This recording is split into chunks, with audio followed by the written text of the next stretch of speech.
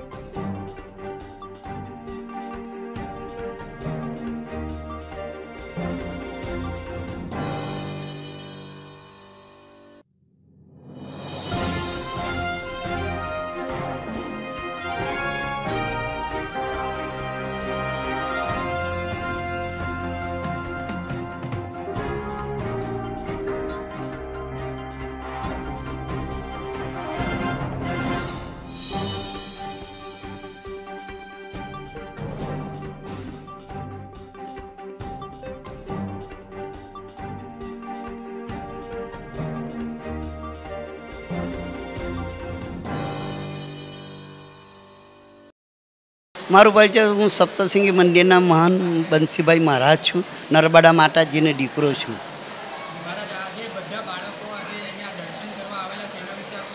એના વિશે એવું છે કે મા નર્મદા માતા માગસર મહિનાનું અન્નપૂર્ણાનું વ્રત કરતા હતા.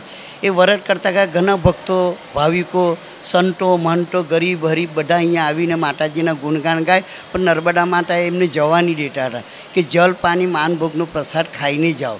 એ પરંપરા કરતા હતા. પછી ત્યારે સમય પાણીની માફક નીકળી ગયો. મા નર્મદા માતા વિસર્જન થઈ ગયા એમનો ઓફ થઈ ગયા. પછી એમના નિમિત્તે આ બધો કાર્યક્રમ અમે ચલાવી રહેલા માતા છે હા. એના વિશે એના વિશે- એવું છે કે આ બાળકોને જોઈને મારા વિકલામ આવું બધી પરિસ્થિતિ મને મને મને એમ લાગ્યું કે ઉત્તરાયણ એ લોકો શું પતંગ ઉડાડવાના હોળી શું રમશે ફટાકડા કેમ ફોડશે? એ મને એમને જોઈને બહુ રૂડન થઈ ગયું મારું મન ખટાશ થઈ ગયું. હું મા સપ્તસિંગી પાસે વિનંતી કરી કે હે મા તું જગત જનની છે ને તો આ લોકોનું દુઃખ દરિદ્ર નિવારણ આ લોકો કોણ મંદિર મારીએ લઈ જશે? તો મને એવી પ્રેરણા જાગી કે માં હું એમને તારા સાત શિખરના દર્શન કરાવ. એ લોકો ચરી નહીં શકે, પગથિયા તો કોણ લઈ જશે? તો મેં વિચાર કર્યો ત્યાં આગળ એવી કંઈ સુવિધા થઈ છે? તો મારી ઈચ્છા છે કે ભાઈ એમને બધા બાળકોને લઈ જાઓ ને એ લોકોને માના દર્શન કરો, દર્શનથી દુર્લભ થાય, શક્તિ મળે, એના ભાવથી મારી આ જ બહુ ઈચ્છા છે તો આ ઈચ્છા મારી પૂરી થઈ જાય, તમારા બધા ભક્તોના આશીર્વાદ, માના આશીર્વાદ એટલે મારો કાર્ય સિદ્ધ થઈ જાય. એના ભાવરૂપે મારી વિનંતી છે. દિવ્યાંગ બાળકોની સ્કૂલમાં વારંવાર આવ્યા કરો છો તો એના વિશે આપ શું કહેશો એના વિશે એવું છે કે મને યાદ આવે છે. હોળી, ઉત્તરાયણ, દિવાળી આવે ને તો એ ફટાકડા શું ફરવાના? પતંગ શું ઉડાડવાના? કા દોરવાના બધી હટ્ટી પગટી બધી તે તૂટી ગયેલા છે. ક્યાં જવાનું? તો વારંવાર એવું તો કેવું કર્મ એ લોકોનું લખેલું હશે કે વાર તહેવાર એ લોકોને જોવાની પછી હું એમને ત્યાં જો મલ- મુલાકાત લઉં તો મને દયા આવે. એ લોકો નમસ્તે, જય માતાજી બોલે, રાજી થઈ જાય. એ રડે, હું રડું. પછી હું આકાશમાં જો કે ભગવાન, આ લોકોને તંદુરસ્ત જેવી તો શક્તિ આપ. બહુ થઈ ગયો હટ થઈ ગયો ભૂલનું પ્રાયશ્ચિત હું પણ માફી માગું છું. ને એ લોકોનો વટી હું વંદન કરું છું. એના ભાવરૂપે મારી આ વિનંતી છે.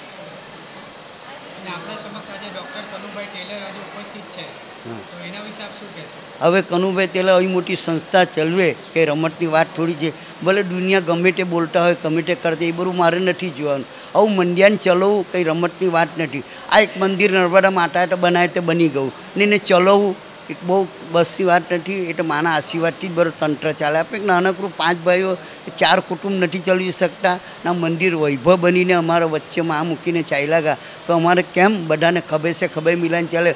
પણ અમારી સંગાતે અમારા કૈલાસબેન, ચંદનબેન, પૂર્ણિમાબેન, આવા નવલી નવરાત્ર આવે, તો નવરાત્ર ઉજે બાકીનું એમને જે કંઈ વિષય જાણતા હશે તે કહેશે, હું કેટલું કહું તમને. મારું નામ કૈલાસબેન છે. હું નર્મદામાંની દીકરી છું બંસીભાઈ મારા ભાઈ છે.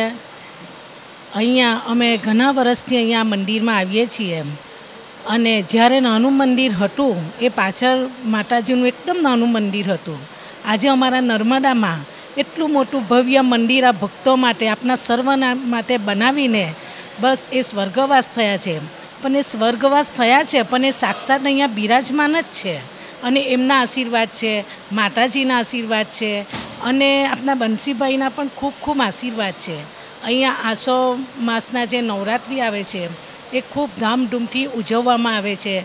ચૈત્રી નવરાત્રિ પણ ખૂબ ધામધૂમથી ઉજવવામાં આવે છે અને અમે દરેક ભક્તો, બંસી મહારાજ, સર્વ મહારાજો અહીંયા ઉત્સાહ અને ઉમંગથી એ ઉત્સવ ઉજવીએ છીએ. અને આ મંદિરમાં જેને પણ પુત્ર પ્રાપ્તિ નથી થતી, તેઓને આ માતાજી પુત્રની પ્રાપ્તિ પણ કરાવે છે.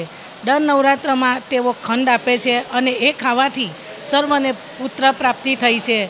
લક્ષ્મીનો વૈભવ થયો છે. આજે અમને એના પર ખૂબ જ શ્રદ્ધા અને વિશ્વાસ છે. બોલો, જય સપ્તશૃંગી મા તકી જે હું મારી વાણીને વિરામ આપું છું.